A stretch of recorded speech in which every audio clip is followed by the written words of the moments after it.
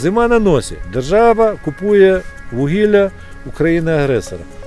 Своє вугілля ми з шахти видати не можемо, продати його не можемо, реалізувати не можемо.